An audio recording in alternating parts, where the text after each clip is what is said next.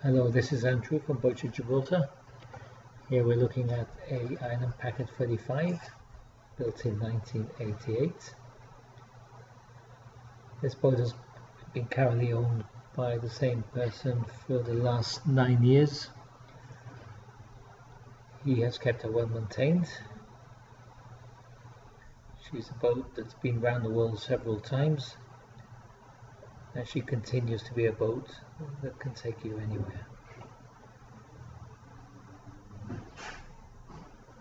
If you wish to arrange a viewing, please don't hesitate to contact us and we can provide you more information.